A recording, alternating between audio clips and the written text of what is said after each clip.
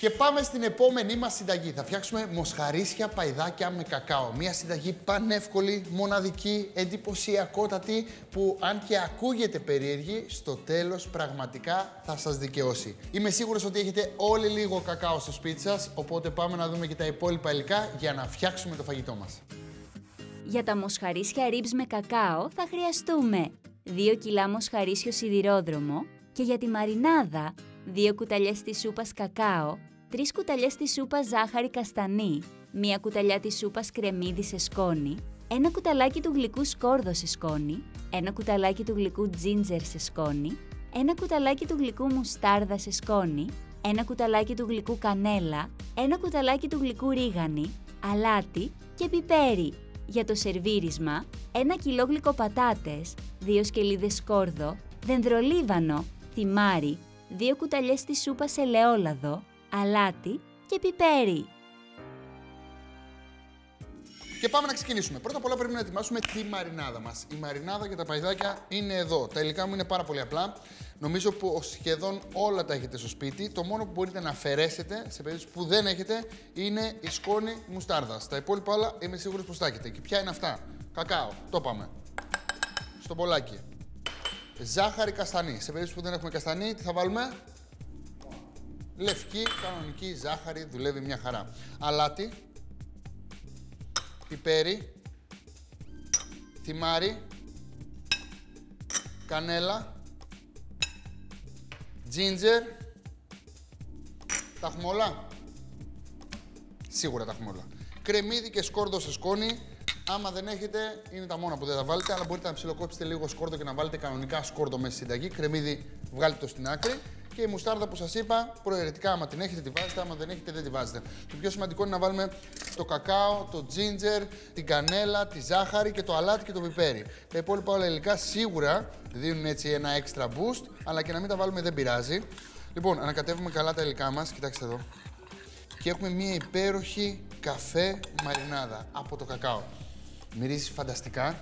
Πιστέψτε με, πιστέψτε με πραγματικά και σας το εγγυώμαι ότι θα φάτε ένα από τα πιο νόστιμα κρέατα στο τέλος. Τώρα, πάω να φέρω τα παϊδάκια από το ψυγείο μου. Εδώ. Και την ίδια συνταγή μπορείτε να την εφαρμόσετε είτε για παϊδάκια χοιρινά, είτε για παϊδάκια μοσχαρίσια. Είτε και για μπριζόλες ολόκληρες. Δεν υπάρχει κανένα θέμα. Ε, απλά κοιτάξτε τι ωραίος που είναι ο σιδηρόδρομος εδώ πέρα. Έτσι όπως είναι, θα χωρίσουμε τα παϊδάκια. Εδώ και εδώ. Έχει υποχρέωση ο χασάπης σας να σας τα κόψει. Ε, κανονικά έχει την κορδέλα, οπότε κόβει κανονικά τα παϊδάκια. Κοιτάξτε εδώ κρέας. Τι ωραίο κρέας είναι αυτό. Και τι γεμάτο σε γεύσεις και πόσο διαφορετικές υφές έχει το παϊδάκι. Είναι φανταστικό. Λοιπόν, τώρα πρέπει να μαρινάρουμε τα παϊδάκια μας. Και εδώ πέρα θέλω να δώσετε λίγο χρόνο. Θα πάρετε, θα βουτήξετε το κάθε παϊδάκι μέσα στη μαρινάδα, εδώ. Δεν θα τραβήξει όλη τη μαρινάδα με τη μία, θα ρίξουμε και την υπόλοιπη από πάνω στο τέλος. Απλά πάρτε και βάλτε τη μαρινάδα. Πρέπει να δουλέψουν τα μυρωδικά και το κακάο πάνω στο κρέας. Το κακάο, μην ξεχνάμε ότι είναι φυτικής προέλευσης. Έχει βούτυρο μέσα, έχει γεύση, έχει αρώματα και καθώς ψήνεται, άμα δεν βάλουμε ζάχαρη, ε, δεν έχει γεύση σοκολάτας, έχει μια ιδιαίτερη γεύση μπαχαρικού. Οπότε έτσι θέλω να συμπεριφερθείτε και στο κακάο, σαν μπαχαρικό, είναι μπαχαρικό και είναι ένα πολύ premium μπαχαρικό. Σε σχέση με τα υπόλοιπα μπαχαρικά, έχει πάρα πολλά αρώματα. Σωστά, Μπελέση; Μπράβο. Ποια είναι η φάση τώρα. Καταλαβαίνω ότι όλοι θα θεωρείτε ότι αυτό που κάνουμε είναι λίγο παράξενο και θα πιστεύετε ότι έχουν γεύση σοκολάτα στο τέλος τα ribs. Δεν έχουν γεύση σοκολάτας, έχουν μία μοναδική γεύση που δεν έχετε δοκιμάσει κάτι παρόμοιο. Οπότε είμαι σίγουρος ότι έτσι θα σας κεντρήσω το ενδιαφέρον να θέλετε να κάνετε αυτή τη συνταγή γιατί όντως θα σας δικαιώσει. Και είναι πάρα πολύ σεξι να πείτε τους καλεσμένους σας, ελάτε σπίτι, έχω φτιάξει ribs με κακάο. Ε, δεν πουλάει πάρα πολύ φιλεμπελέση. Λοιπόν, η υπόλοιπη μαρινάδα που έχει μείνει βέβαια θα τη ρίξουμε από πάνω, εδώ. Λοιπόν, και τώρα απαραίτητο βήμα πρέπει να μαρινάρουμε τα παϊδάκια μας στο ψυγείο. Πόση ώρα, Μπελέση; Και 12 ώρες και μία ημέρα μπορούμε να τα αφήσουμε. Τώρα, άμα δεν έχουμε καθόλου χρόνο, θα αφήνουμε 2-3 ώρες. Αλλά θέλω να τα αφήσουμε όση ώρα περισσότερη γίνεται. Βάζω στο ψυγείο και περιμένουμε να μαριναριστούν.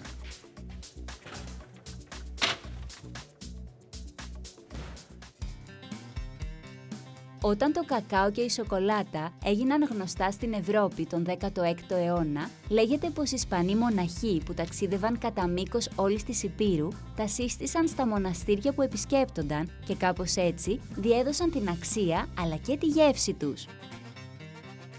Και μετά από αρκετό μαρινάρισμα, τα παϊδάκια μας είναι έτοιμα. Και κοιτάξτε εδώ τι φανταστικό γίνεται. Καθώς αφήνουμε τα παϊδάκια στο ψυγείο, δουλεύει η μαρινάδα πάνω στο κρέας και ουσιαστικά τα καλύπτει με ένα τέλειο τρόπο. Κοιτάξτε εδώ. Είναι φανταστικό αυτό που έχει γίνει. Λοιπόν, ε, θα πάρω μια τσιβίδα. Θα βάλω και λίγο νερό στο ταψί. Για να μην μαυρίσει το ταψί όταν ψήνουμε. Μόνο για αυτό το λόγο. Σε περίπτωση που θέλετε να βάλετε κάτω λαδόκολα, βάλτε λαδόκολα. Απλά σημαντικό βήμα είναι τι, να έχω πάντα τα παϊδάκια μου πάνω στη σχάρα. Λοιπόν, κοιτάξτε εδώ. Πάρτε τα παϊδάκια, βάλτε τα πάνω στη σχάρα. Εδώ και εδώ. Και μόνο έτσι όπως είναι τώρα και θες να βάλεις μέσα στο φούρνο, είναι φανταστικό. Αυτό πάει στην άκρη, εδώ. Αυτό μπαίνει στο φούρνο, στους 180 βαθμούς για περίπου 2,5 ωρίτσε με 3 αναλόγως πόση ώρα θέλουν για να μαλακώσουν. Θα τα πιάνετε όλη την ώρα και θα δείτε πότε λιώνουν πραγματικά. Πρέπει να ξεκολλήσει το κόκαλο από το κρέας. Τώρα, επειδή θέλουμε και μια ωραία γαρνιτούρα, μπαμ μπαμ, θα ετοιμάσω λίγες γλυκοπατάτες εδώ. Τις έχω πλύνει, είναι με τη φλούδα. Ε, οπότε θα τις κόψω έτσι όπως είναι. Στη μέση και στη μέση. Μια χαρά. Και εδώ. Και εδώ. Και εδώ. Τέλεια. Λοιπόν, και τώρα wedges. Από τη μέση προς τα έξω. Εδώ. Τι πιο ωραία γαρνιτούρα από γλυκοπατάτα. Ξέρετε ότι η γλυκοπατάτα είναι superfood, πραγματικά. Ε, μπορεί να έχει περισσότερες θερμίδες από την κανονική πατάτα, αλλά έχει και περισσότερες βιταμίνες. Πρέπει να βάλουμε γενικά στη διατροφή μας τη γλυκοπατάτα, γιατί όντως μας είναι πάρα πολύ χρήσιμη και όντως θα μας κάνει να τρώμε πιο υγιεινά. Λοιπόν, βάλτε τις γλυκοπατάτε με τη φλούδα προς τα κάτω. Η φλούδα θα τρώγεται στο τέλος, μην φοβάστε. Εδώ και εδώ και εδώ και εδώ. Και είναι και πολύ εύκολες συνταγές, κοιτάξτε εδώ. Δηλαδή, είναι φανταστικό ώρε ώρες σκεφτόμαστε τι να μαγειρέψουμε, τι να φτιάξουμε, τι δύσκολο να φτιάξουμε, τι, τι να κάνουμε, τι να μην κάνουμε και η λύση είναι μπροστά μας. Κόβουμε την πατάτα, θα βάλω λίγο σκόρδο από πάνω. Έτσι, σε μεγάλα κομμάτια ίσα ίσα να αρωματίζουν την πατάτες καθώς ψήνονται μέσα στο φούρνο. Λίγα μυρωδικά, να βάλω λίγο δεντρολίβανο και λίγο θυμάρι. Εδώ. Αλάτι, πιπέρι και ελαιόλαδο. Βουαλά. Πιπεράκι. Αλάτι. Και λαδάκι οπωσδήποτε λάδι για να ψηθούν και να γίνουν ωραίες. Όπως βλέπετε, τις έχω βάλει με αυτή τη διάταξη πάνω στο ταψί. Γιατί, γιατί θέλω να τραγανίσουν μέσα στο φούρνο. Κανονικά, τις γλυκοπατάτες ψήνουμε στους 200 βαθμούς στο φούρνο για να γίνουν ακόμα πιο κρίσπι. Αλλά επειδή ο φούρνος μας είναι στους 180 βαθμούς και ψήνουμε το κρέας, θα βάλω και τις πατάτες μέσα.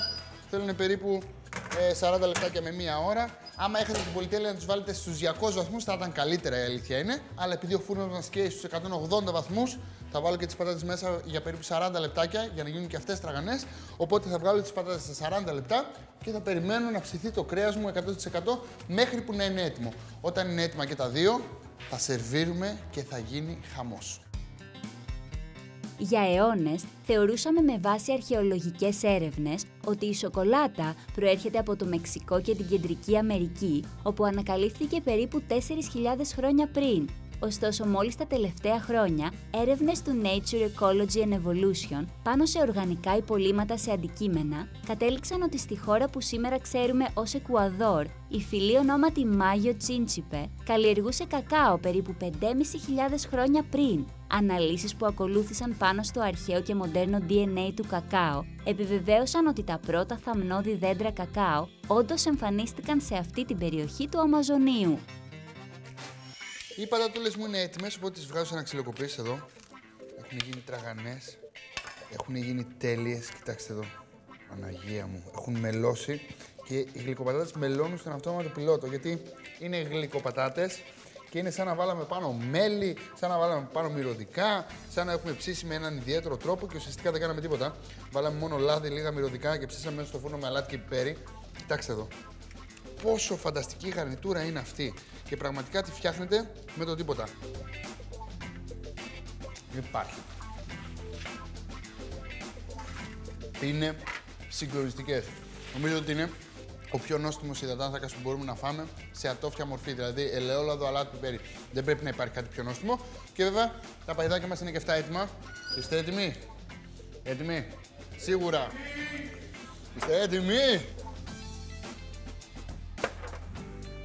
Αναγία μου.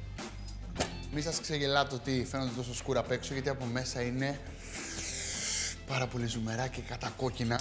Οπότε θα βάλω τα ribs από πάνω, εδώ και εδώ. Βάλω κι άλλο ένα εδώ. Θα ρίξω και λίγα φρέσκα μυρωδικά.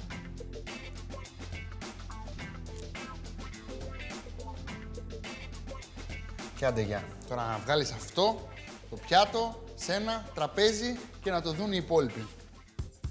Για τα μοσχαρίσια ribs με κακάο, σε ένα μπολ βάζουμε όλα τα υλικά της μαρινάδας και ανακατεύουμε. Κόβουμε το σιδηρόδρομο σε παϊδάκια και τα βάζουμε στο μπολ με τη μαρινάδα. Μεταφέρουμε σε ταψί και καλύπτουμε με τη μαρινάδα που έχει μείνει στο μπολ. Καλύπτουμε με μεμβράνη και βάζουμε στο ψυγείο για 8 με 12 ώρες. Μεταφέρουμε τα παϊδάκια σε ταψί με σχάρα και ψήνουμε σε προθερμασμένο φούρνο στους 180 βαθμούς για 2,5 με 3 ώρες. Κόβουμε τις γλυκοπατάτες και τις βάζουμε σε ταψί. Προσθέτουμε τα σκόρδα χοντροκομμένα, δενδρολίβανο, θυμάρι, πιπέρι, αλάτι, ελαιόλαδο και ψήνουμε για 40 με 60 λεπτά. Αφαιρούμε και σερβίρουμε μαζί με τα παϊδάκια. Και τώρα το πιο σημαντικό κομμάτι. Πρέπει να σας δείξω πώς είναι από μέσα, γιατί απ' έξω είναι σκούρα, επειδή βάλαμε το κακάο, αλλά μέσα, κοιτάξτε εδώ, είναι τόσο ζουμερά. Πραγματικά βλέπετε ότι φεύγουν από το κόκαλο κατευθείαν. Έτσι όπως είναι, εδώ, γυρνάς και κατευθείαν το κρέας φεύγει εκτός και μόλις το βλέπει κάποιος απ' έξω και κόψει από μέσα και δει πως είναι εσωτερικά, πραγματικά παθαίνει σοκ. Οπότε το προνόμιο πάντα έρχεται στο μάγειρα και αυτός που θα δοκιμάσει πρώτος είμαι εγώ. Απ' έξω η κρούστα είναι τόσο τραγανή.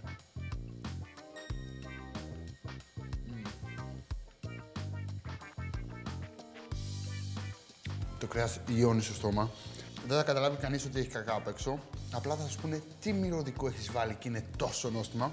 Έτσι εκεί πέρα μπορείτε, άμα θέλετε, να αποκαλύψετε. Μπορείτε και να μην αποκαλύψετε. Αλλά άμα τους φοράξεις σπίτι για να φάνε ρήψη με κακάο, νομίζω ότι από μόνο του τα λέει όλα. Δεν υπάρχει αυτό το πράγμα.